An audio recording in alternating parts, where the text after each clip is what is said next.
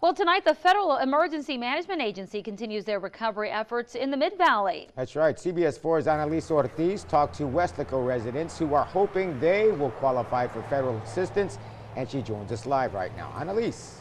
Marcy and Eddie, this disaster recovery center just opened today, and although those floods happened back in October, there are still lots of families desperately trying to rebuild their lives. When I talked to my wife, I explained to her our house is gone, literally gone. George Vela and his wife built what they call their dream home in Weslaco 20 years ago. A call from his daughter is how he learned it was gone in an instant. Dad, there's water coming in.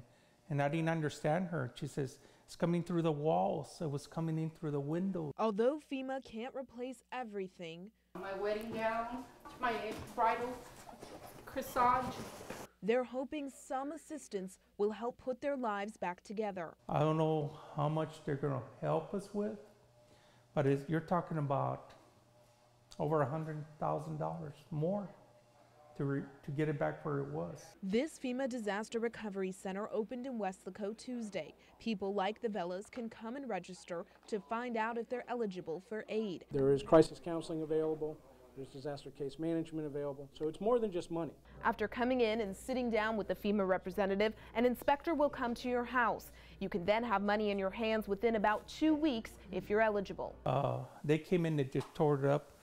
For the Vela family, who's been rooming with relatives since October, the process has been difficult. It's very slow. Uh, we don't know if we're going to get funded or we're going to what we're going to do. FEMA encourages all flood victims to come to the center so their questions can be answered and they can hopefully get the relief they need.